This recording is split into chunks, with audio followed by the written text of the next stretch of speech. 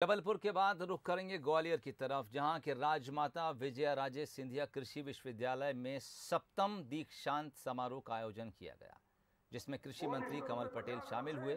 कार्यक्रम को संबोधित करते हुए मंत्री कमल पटेल ने कृषि सुधार की दिशा में कई कोशिशें किए जाने की बात कही। उन्होंने कहा कि जब मंत्रालय में उन्हें जगह मिली तो उन्होंने कृषि सुधार की दिशा में कई कोशिशें की, जिसका फ़ायदा अब किसानों को मिल रहा है। कमल पटेल ने आगे कहा कि उनके पास 200 एकड़ ज़मीन है लेकिन फिर भी लोन नहीं मिला, जबकि उद्योगपति को आसानी से लोन मिल जाता है।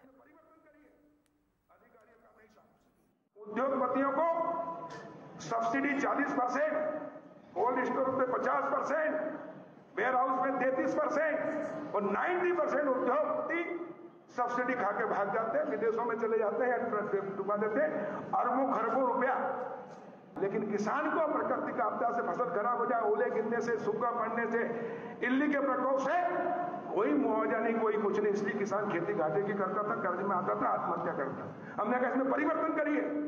अधिकारियों का नहीं था। ये नियम नहीं है। नियम बदलो, लेकिन नहीं बदला। जब मध्य प्रदेश के गाँव गरीब किसान के बेटे शिवराज सिंह जी मुख्यमंत्री बने मैं राजस्व मंत्री बना।